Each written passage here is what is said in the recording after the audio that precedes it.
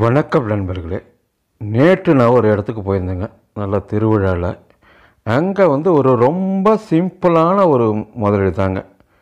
ஒன்றில் இந்த மாதிரி பழங்கள்ங்க ஹோல்சேல் கடைகளில் வாங்கிக்கிறாங்கங்க. அதிகபட்ச முதலீடு ஐயாயிரரூபா தாங்க வரும். ஒரு டேபிளு ஒரு கத்தி அவ்வளோதாங்க இதை வச்சு மிக அருமையாக பணம் சம்பாதிக்கலாங்க. இது வந்து பார்த்திங்கன்னா ஓரளவு எப்படியாச்சும் எனக்கு தினசரி ஐய ஆயரரூபா வச்சும் கிடைக்கணும்.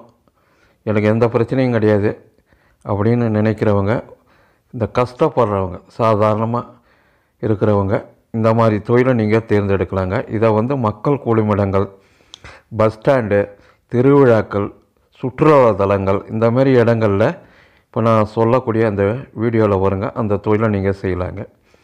இதுக்கான மூலப்பொருள் வந்து பார்த்திங்கன்னா இப்போ பார்க்குறீங்களா இந்த பழங்கள் தாங்க சீசனுக்கு ஏற்ற பழங்கள். இதில் அதிகமாக விரும்பி இது பண்ணுறது பப்பாளி பழம்.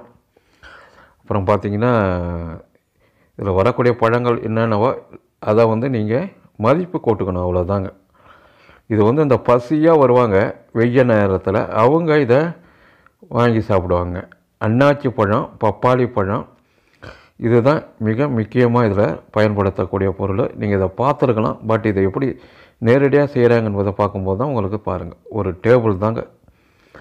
ஒரு டேபிள் கட்டிங் பண்ணக்கூடிய இது ஒரு கத்தி பிளாஸ்டிக் கப்புங்க. இந்த பல்லு குத்துற குச்சி அவ்வளோதாங்க இதுக்கு வெறும் ஐயாயிரரூபா முதலீடு இருந்தால் போதுங்க. ஏன்னா இதை வந்து நம்ம ஸ்டோர் பண்ணி வைக்க முடியாது. அப்பப்போ என்ன தேவையோ அந்த பழங்களை நம்ம வாங்கிக்கணும். ஹோல்சேலாக வாங்கிக்கணுங்க. மொத்தமாக வாங்கினா தான் நமக்கு கட்டுப்படியாகும் ஒரு டப்பா இந்தமாரி கட் பண்ணி பீஸ் வந்து இருபது ரூபாங்க. எப்படி பார்த்தாலும் பத்து ரூபா தாங்க அடக்கம் வரும். பத்து ரூபா நிகர லாபம் கிடைக்குங்க. குறைஞ்சபட்சம் நல்லா இந்த மாதிரி திருவிழாக்கள்லாம் ஒரு முந்நூறு கப்பு ஐநூறு கப்பு விற்பாங்கங்க. ஐயாயிரம் ரூபாய்க்கு லாபம் கிடைக்கும். நார்மலாக வந்து பார்த்திங்கன்னா நூறு கப்பு விற்றாலே ஒரு கப்பு பத்து ரூபாங்க லாபம். ஆயரரூபா அலட்சியமாக ஒரு மூணு மணி நேரத்தில் பணம் சம்பாதிக்கக்கூடிய ஒரு அற்புதமான தொழிலுங்க. பப்பாளி பழம். அப்புறம் பார்த்திங்கன்னா இப்போ பார்க்கக்கூடிய இது எல்லாமே நீங்கள் உங்கள் ஊரில் கிடைக்குங்க இதெல்லாம். எல்லாமே உங்கள் ஊரில் கிடைக்குங்க. ஹோல்சேல் கடையில் வாங்கிக்கணும். ரீட்டெயிலில் வாங்கினீங்கன்னா உங்களுக்கு கட்டுப்படி ஆகாது. அதுதான் இதில் இருக்கக்கூடியது. நல்ல ஒரு சூப்பரான தொழில். என்கிட்ட ஐயாயிரம் ஒரு பத்தாயிரரூபா இருக்குது. தினசரி ஏதாவது ஒரு ஆயரூபா பணம் சம்பாதிக்கணும்னு ஐடியா இருக்கிறவங்க இந்த மாதிரியான தொழிலை தேர்ந்தெடுத்து செய்யலாங்க வெறும் கத்தி அந்த தோலை சீவக்கூடிய ஒரு கத்திங்க. அவ்வளோதாங்க இந்த பல்லு குத்துற குச்சி இது லோக்கல்லே உங்களுக்கு கிடைக்குங்க. சூப்பர் மார்க்கெட் டிபார்ட்மெண்டல் ஸ்டோர் இல்லை எசன்ஸ் கடையில் கூட கிடைக்குங்க. எங்கேயும் கஷ்டப்பட தேவையில்லை. இது வந்து மார்க்கெட்டில் ஒரு முக்கியமான இடத்துல வச்சிங்கன்னா உங்களுக்குன்னு ரெகுலராக கூட வருவாங்க. டூரிஸ்ட் ஏரியாலாம் பார்த்திங்கன்னா இது நல்லா ஓடுங்க. கொஞ்சம் கௌரவம் பார்க்காம கஷ்டப்படுறத உண்மையாக உழைக்கிறோம் அவ்வளோதாங்க உழைப்புக்கேற்ற ஊதியம் கிடைக்குங்க. ஏன்னா இது வந்து உடல் நலத்திற்கு ஆரோக்கியமானது. இருக்கிறதுலே நேச்சுரலாக நம்ம படங்களை விற்கிறோம் நேச்சுரலாக விற்கும்போது நமக்கு ஒரு நல்ல தொழில் செய்கிறன்ற ஒரு மன திருப்தி கிடைக்குங்க.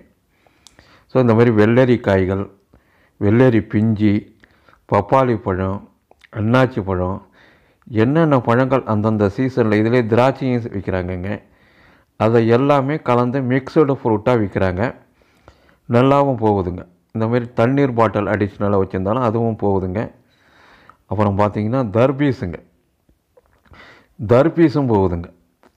இந்தமாரி பல்வேறு வகையான பழங்களை சிறு சிறு துண்டுகளாக வெட்டி இருபது ரூபாய்க்கு விற்கிறாங்க முப்பது ரூபாய்க்கு அடிஷ்னலாக பழங்கள் மாதிரி கொஞ்சம் விலை கூட இருக்கிற பழங்கள் போடுறதா இருந்தால் கூட வச்சு விற்கிறாங்க உடல் நலத்திற்கு ஆரோக்கியம் தரக்கூடிய ஒரு தொழிலுங்க. சம்பாதிக்கிற பணம் ஒரு மன நிறைவோடு இருக்கும். ஆரம்பிக்கிறதுக்கு ஒரு ஐயாயிரரூபா முதலீடு இருந்தால் போதும். நூறு கப்பு விற்றுச்சுன்னா கேரண்டியாக ஆயரூபா பணம் கிடைக்கிற ஒரு தொழிலுங்க. நிறைய பேர் கேட்குறீங்க குறைந்த முதலீட்டில் ஈஸியாக மார்க்கெட் பண்ணணும் சார் அப்படின்னு கேட்குறீங்க அவங்கெல்லாம் இந்த மாதிரியான தொழிலை உங்கள் ஊரில் உங்கள் ஊரில் டூரிஸ்ட் ஏரியாவோ இல்லை மக்கள் குழுமிடங்களோ பஸ் ஸ்டாண்ட் அருகிலோ எங்கே வேணாலும் இதை ஆரம்பிக்கலாங்க. மக்கள் அதிகமாக நடமாடுற இதில் இந்த மாதிரி திருவிழாக்கள் இந்த மாதிரி இடங்களில் தான் இது அதிகமாக போகுங்க. ஸோ அதை தான் நீங்கள் இடத்த கரெக்டாக தேர்ந்தெடுத்து செஞ்சால் தான் எந்த தொழிலுமே வெற்றி பெற முடியுமா. தொடர்ந்து எமது தமிழ் தொழில் சேனலை பாருங்கள் சப்ஸ்கிரைப் பண்ணுங்கள் லைக் பண்ணுங்கள் ஷேர் பண்ணுங்கள் நான் போடுற வீடியோ தினசரி உங்களுக்கு வரணுன்னா அந்த நோட்டிஃபிகேஷன் பட்டன் இருக்குங்க. அதை அழுத்தினா தான் தினசரி நான் போடக்கூடிய அனைத்து விதமான வீடியோக்களும் உங்களை வந்து சேருங்க.